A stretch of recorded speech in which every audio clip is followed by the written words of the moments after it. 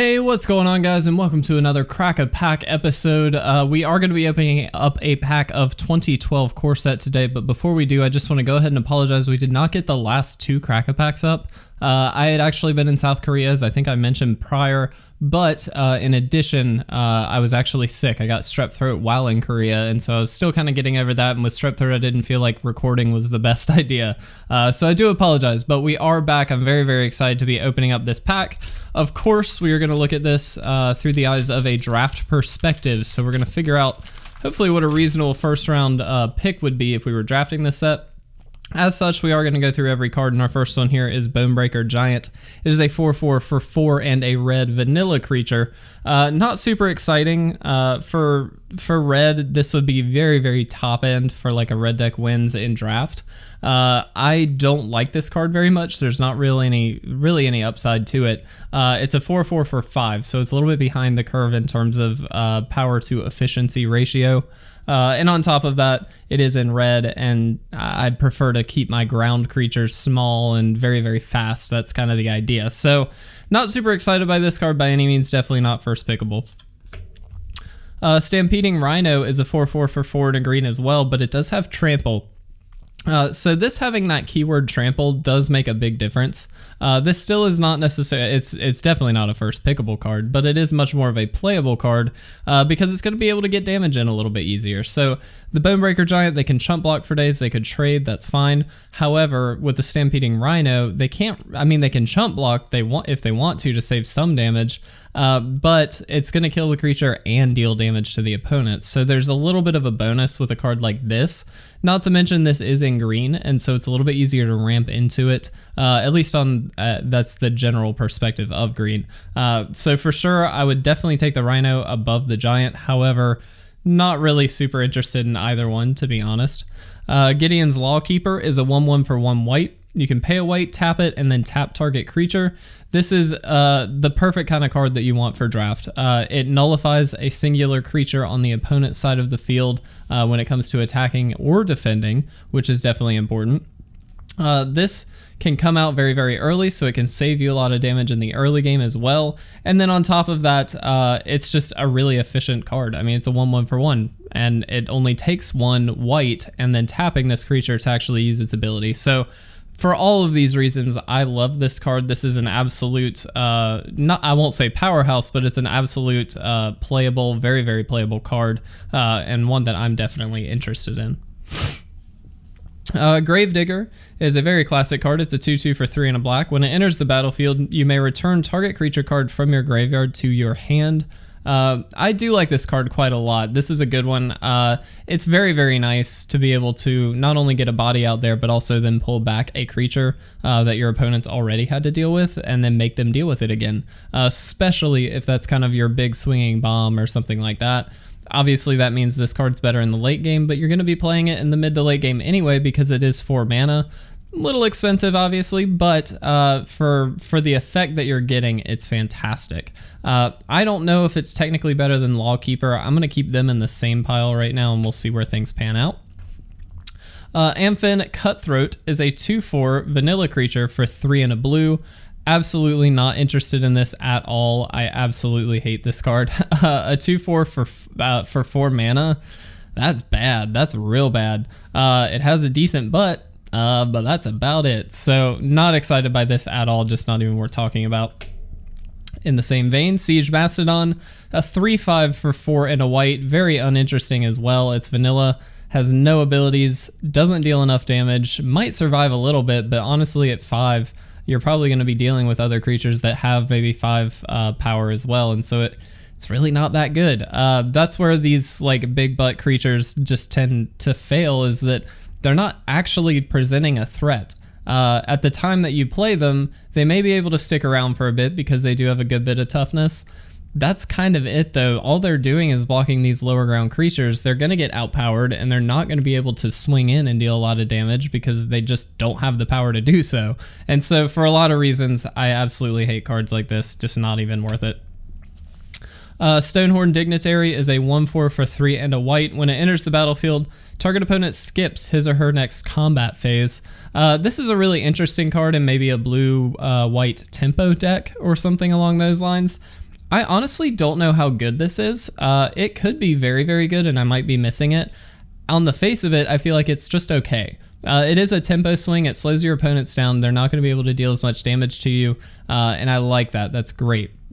However, there are going to be decks that this doesn't do quite as much with. Uh, decks that are maybe just trying to play some pingers or play some lower stuff and then deal a lot with spells, which obviously is not normally the focus of a draft deck. However, uh, that does happen, and in that instance, this is very uninteresting. Uh, you might save yourself a few damage because of maybe some flyer or something like that, but generally speaking, it's not going to be the most impactful in those situations. In other situations, it's going to be fantastic. If you've got a, you're up against a big creature deck, a go wide strategy, something like that.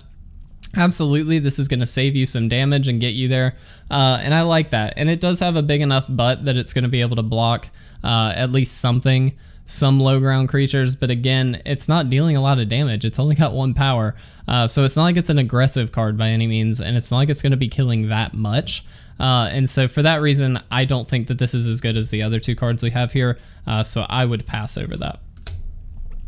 Uh, Zombie Goliath is a 4-3 for 4 and a black vanilla creature. A lot of vanilla creatures in this one. It is a core set, I suppose, but this is uh, exceptionally bad in my opinion. Uh, for 5 mana, you're getting a 4-3. Uh, that's terrible. You could just lightning strike that. You could do so much to it to just kill it right away. Absolutely no reason to ever play this unless you just absolutely need a playable, uh, but I do not like it. Absolutely not. Uh, Gladecover Scout is a 1-1 for 1 green with Hexproof. Uh, this is actually a really interesting card. So in Constructed, uh, especially Modern, uh, there's the Boggles deck. This is the other Boggle, so to speak uh, in that it is a 1 1 for 1 that has hexproof that you can then stack tons and tons of enchant creatures on and really, really do a ton of damage very, very quickly.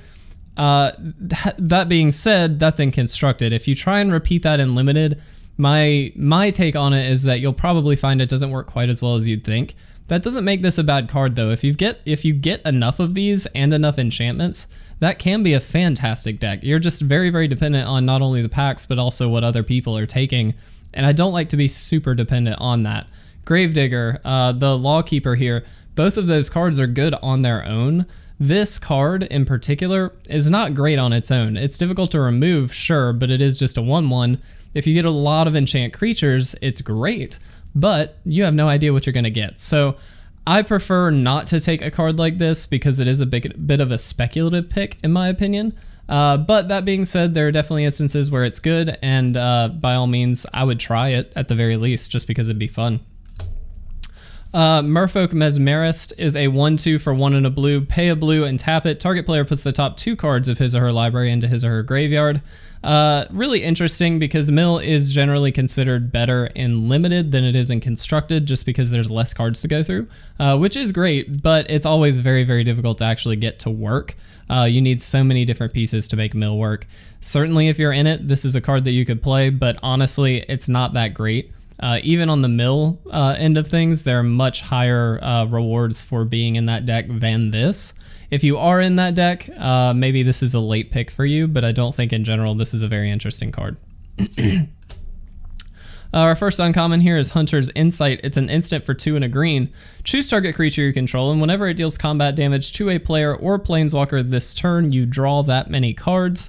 This is an interesting one. I don't know where I would rate this, to be honest. Uh, it is very good to be able to draw cards, especially in green, uh, and because you're going to be playing most likely a lot of creatures, I feel like you'll have a target for this. Uh, especially if you get something like trample or something with with trample, it's very easy to get uh, some trample damage through and be able to draw some cards.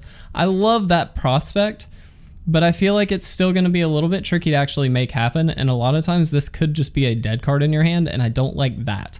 Uh, and so for that reason, I don't think I would first pick this by any means. Maybe if I'm in a green deck, I would try it out, but I don't think it's the kind of card that I'm interested in. Uh, well, Serra Angel uh, is a 4-4 for 3 and 2 white. It has flying and vigilance. This is what you would, in a core set in particular, definitely call a bomb. Uh, it's flying vigilance, so it's evasive. It also doesn't have to tap, so that means you can block with it even while you're attacking with it, which is great. Um, Excuse me. But not only that, it is just a really, really good card. It's one that uh, a lot of white decks are going to want to see in their late game. Uh, and so for this to be picked up so early is definitely a smart move in my opinion. And so far the pick, uh, kind of without a doubt. Uh, Diabolic Tutor is a sorcery for two and two black. Search your library for a card and then put that card into your hand. You then shuffle your library. Uh, I think we've talked about this card pretty recently. Uh, I don't remember exactly how recently that was, but uh, I actually don't really like this card. Tutors in general, I tend to like in draft. Uh, but it's because I've played Cube Draft a lot, uh, where there's very, very high powered things to tutor for. And certainly there are high powered things that you can get, but it's very rare that you can tutor for them, then play that spell right away and win the game or do something crazy like that, which is what most people I feel like envision when they're thinking tutoring. Uh, for me, I find this card to be a bit slow. It's a four mana tutor. Granted, you can pull any card, put it straight into your hand. That's fantastic. Very, very good. But uh, I tend not to like this card, and so I would shy away from it. I'd prefer just to have a very powerful creature at four or five uh, versus having a diabolic tutor that goes and gets me that creature uh, that now I don't have a card slot for. So uh, I prefer just to have a better creature personally. And then our rare here is Quicksilver Amulet. It's an artifact for four mana. Uh, you can pay pay for it and tap it, excuse me, and you can put a creature card from your from your hand onto the battlefield. This is a very very good commander card for sure. And limited, not so sold on it. A lot of times you're gonna probably not have a great enough creature to make this worth it.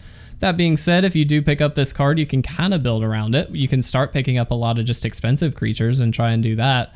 But then if you're without the amulet, it's very, very bad. So that might be an incorrect assessment. Uh, feel free to let me know in the comment sections, but I don't think that Quicksilver Amulet is the pick here. I do think it's Serra Angel uh, pretty easily. Serra Angel is just a great bomb for white, uh, flying, uh, vigilance, and a 4-4. That's kind of all you want. So that would definitely be my pick. Feel free to disagree in the comment section below as always, but if you enjoyed this video, please make sure to leave a like or a comment down below. And as always, please make sure to subscribe to stay up to date on all of our awesome content. It is great to be back, guys. I do again apologize for missing a couple episodes, but I'm happy to be back. So with that, I'm going to get out of here. Thanks for watching, guys. I'll see you in the next Crack a Pack episode.